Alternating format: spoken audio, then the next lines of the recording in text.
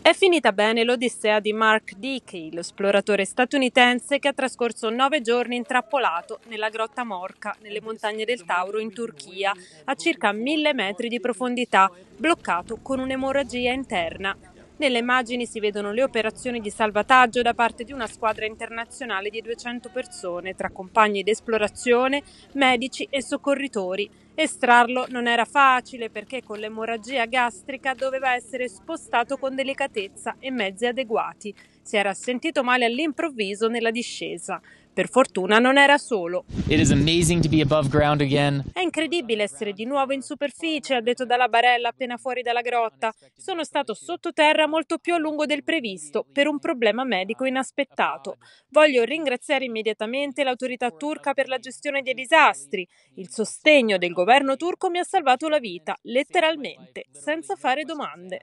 La European Cave Rescue Association ha definito Dickey un esploratore esperto con una formazione medica. È riuscito a mantenere il sangue freddo e la calma anche grazie alla visita della fidanzata che lo ha raggiunto nella grotta, ha raccontato, ma ci sono stati momenti davvero difficili. And then I start throwing up blood and blood is coming out and E poi comincia a vomitare sangue. Il sangue esce in quantità maggiore di quanto tu possa sopportare, ha raccontato. Ho continuato a vomitare sangue. La mia coscienza ha cominciato a diventare più difficile da mantenere. Ho raggiunto il punto in cui pensavo che non sarei sopravvissuto.